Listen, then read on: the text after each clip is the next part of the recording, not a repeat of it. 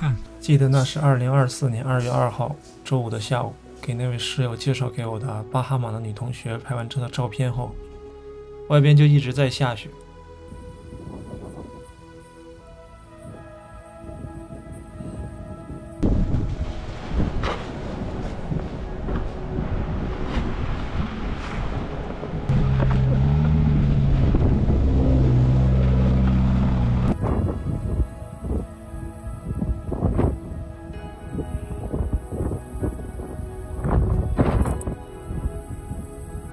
周六三号的早上，外面是这样的。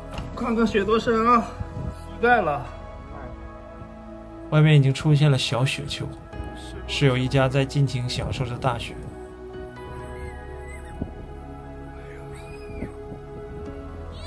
院子里已经成了雪山了。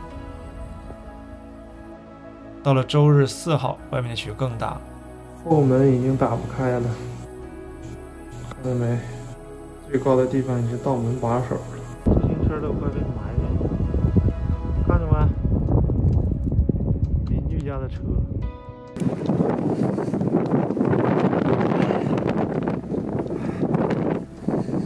这次的大雪伴随着大风，外面的世界真的是已经白到模糊了。有些窝风的地方，像是房屋侧面的雪就特别深。四号这一天基本上就到腰了，后门被封死了。于是我挖了一条路，并把后门的雪清掉了。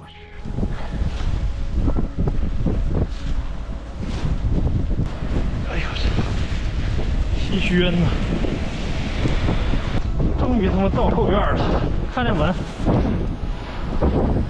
看这门吗？他妈糊死了都，抢救一下。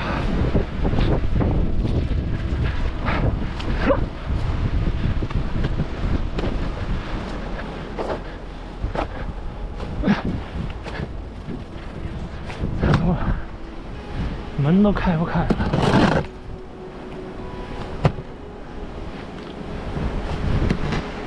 到了五号周一的早上，雪算是停了。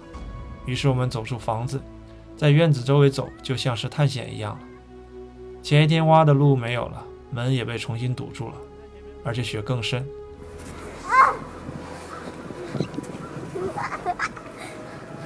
走，我们。跨越雪山了，爬雪山，哇，掉下去了！哇，我们穿越了雪山。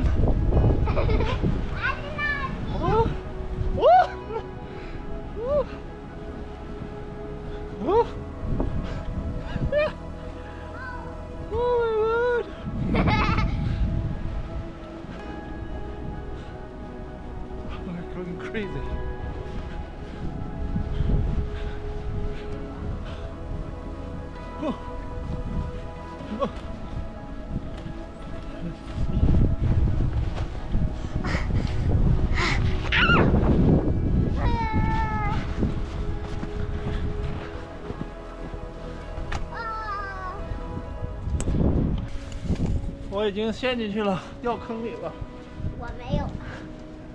我没有。动不了了，我动不了了。拜拜。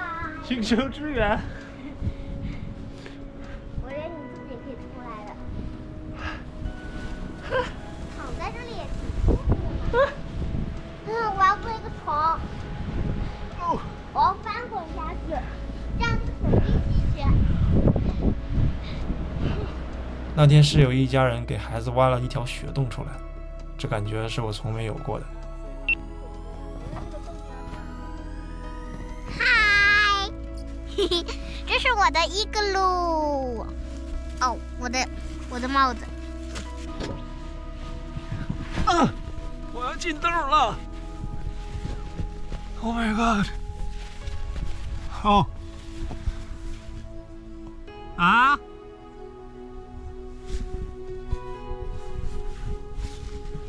这就是一个洞，很暖和的。挖了将近两米深。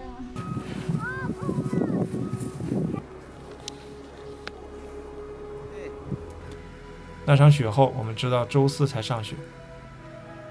当天看到的外面的世界是这样的，而那天超市里也排起了超长的队伍。这样的人已经排了有三十米长。最近我们学习了修复老照片。